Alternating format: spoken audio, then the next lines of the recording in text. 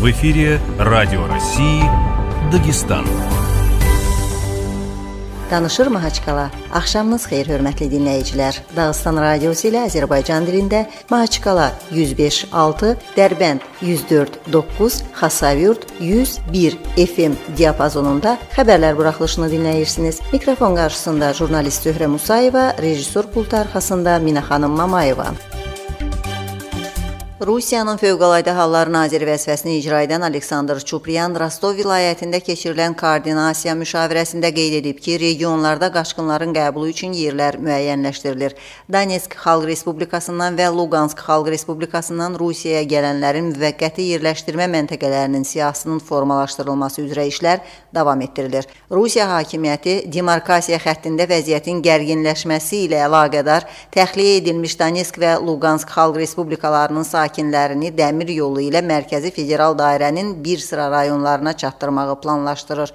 Bu barədə şənbə günü TASSA Dövlət Dumasının Müstəqil Dövlətlər Birliyi ilə işlər Avrasiya İnteqrasiyası və Həmvətənlərlə Əlaqələr Komitəsi sədrinin birinci müavini Viktor Vadalatski bildirib. Ukraynanın şərqində qoşunların təmas xəttində vəziyyət fevralın 17-sində səhər saatlarında gərginləşib.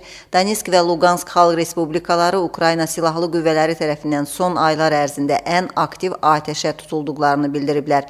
Cümə günü Luqansk Xalq Respublikası və Donetsk Xalq Respublikalarının rəhbərləri Leonid Paseçnik və Denis Paşulin hərbi əməliyyatlar təhlükəsinin artması ilə əlaqədar respublikaların sakinlərinin Rusiyaya xüsusən də Rostov vilayətinə evakuasiya olunduğunu elan ediblər. Fevralın 18-də Rusiya prezidenti Vladimir Putin Donbasdan gələn bütün qaçqınlara birdəfəlik ödəmələr barədə göstəriş verib, Rostov vilayətinə federal büdcədən vəsait artıq göndərilib. Rusiyaya gələn qaçqınların hər birinə 10 min rubl ödəniləcək. Bundan əlavə, Rusiyanın bir sıra regionlarının hakimiyyət orqanları artıq qaçqınlara nəinki öz ərazilərində müvəqqəti qalma, həm də mülki şəxslərə ən azı 2 həftə işləmək imkanı təklif etmişdilər. Respublika üzrə Rospotrebnadzor İdarəsinin Dağıstan ərazisində koronavirusun yayılması ilə bağlı verdiyi məlumata əsasən 86612 koronavirus xəstəliyinə yoluxan qeydə alınıb, son sutq ərzində artım 535 nəfər təşkil edib. Respublika Səhiyyə Nazirliyinin əsasları üzrə ümumilikdə müayinə dövründə koronavirus infeksiyası ilə bağlı vəziyyət belədir. 74054 nəfər sağalıb, 3472 nəfər koronavirusa yoluxan vəfat edib. Xatırladırıq ki, Dağıstanda koronavirus infeksiyasının yayılmasının qarşısını almaq məqsədi ilə Respublika vətəndaşlarına 1,5 metr sosial məsafəyə, gigiyena qaydalarına riayət etmək tövsiyə olunur. İctimai nəqliyyatda və əhalinin daha sıx yerləşdiyi ərazilərdə maska rejimi mütləqdir. Epidemiyanın qarşısını almaq üçün yeganə vasitə isə peyvənddir. Eləcə də infeksiyanın yayılmasının qarşısını almaq məqsədi ilə yaşı 60-dan yuxarı olan aşılanmamış vətəndaşların özünü təcrid rejimi davam edir. Bu gün fevral ayının 21-i Beynəlxalq Doğma Günlər Günü kimi əlamətdardır. Bu bayramın təsis edilməsi haqqında qərar 1999-cu il noyabr ayının 17-sində UNESCO-nun baş konfransı tərəfindən qəbul edilib.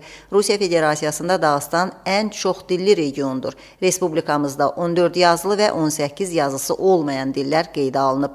Ana dilini bilmədən milli mədəniyyətin, özünə məxsusluğun qorunub saxlanması mümkün deyil və sevindirici haldır ki, bu bayram hər bir hətta hətta ən kiçik etnik qrupun dil bazasını qoruyub saxlamaq məqsədi daşıyır. Hər bir Dağıstanlı üçün dilinin qorunması onun özünə məxsusiliyinin və xalqının ənənələrinin qorunması məsələsidir. Doğma dillərdə mənəvi və əxlaqi ideallar potensialı və mədəni sərvət dəyərləri cəmlənir. Dil tarixən davamlılıq və ardıcıllıq missiyasını daşıyır və bu gün dünyada 7000-ə yaxın dil mövcuddur. Bu rəqəm BMT tərəfindən səslənir. Bunlardan 2,5 mindən çox dil məhv məhv olmaq ərəfəsindədir. Bu isə o deməkdir ki, tezliklə onlar son daşıyıcılarını itirəcəklər.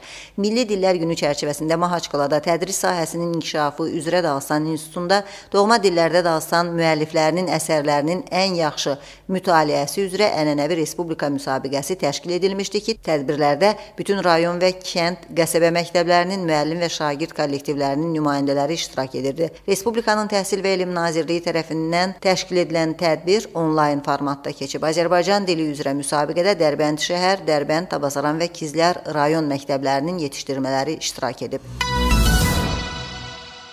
Dağıstan Xalq Yığıncağının növbəti sessiyası fevralın 22-sində keçiriləcək. Beləliklə deputatlar 27 məsələyə baxacaqlar. 3 barışdırıcı hakimin təyin ediləcəyi gözlənilir.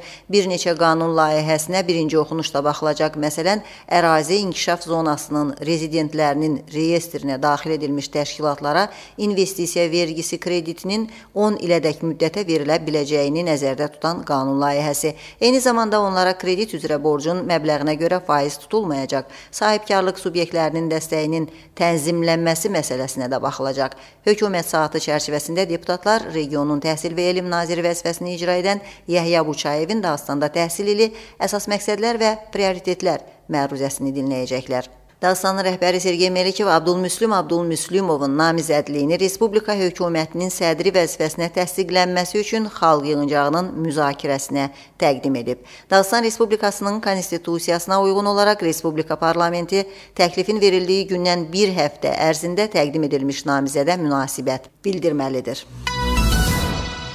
Respublikanın Təhsil və Elm Nazirliyinin mətbuat xidmətindən verilən məlumata görə Dağıstanda gənclərin hərbi vətənpərvərlik tərbiyəsi üzrə 2 yeni avangard tədris metodiki mərkəzi fevral ayında fəaliyyətə başlayacaq. İdarənin nümayəndəsinin sözlərinə görə bu gün Xasayurtdakı Yol Tikinti Kollecinin bazasında 75 yerlik mərkəzin açılışı olub. Fevralın 22-sində Dərbənddə Qazi Əhmədov adına Peşə Pedaqoji Kollecinin bazasında avangardın açılışı olacaq. Mərkəzlərdə müdafiə sahəsində ilkin biliklər və hərbi xidmətin əsasları üzrə təlimlər keçirilir. Təlimə yuxarı sinif şagirdləri və orta ixtisas müəssisələrinin tələbələri cəlb olunur. Xatırladaq ki, avangardlar əhalisi 100 min nəfərdən çox olan şəhərlərdə təşkil edilir. Artıq Buynaqsıda və Kaspiyskdə müvafiq mərkəzlər fəaliyyət göstərir. İl ərzində 4 mərkəzdə 6 mindən çox gəncin təlim keçməsi planlaşdırılır.